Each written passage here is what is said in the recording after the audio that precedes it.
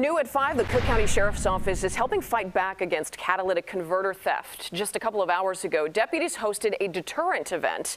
This was where drivers could get their catalytic converter spray painted with a CCSO symbol.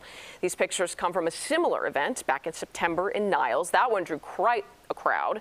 The effort is meant to prevent thieves from being able to resell that most valuable part. We're digging into the numbers of this growing problem. The Cook County Sheriff's Office tells us there have been 117 catalytic converter thefts from January to October this year. That is up 33% from 88 reported thefts in the same time period last year.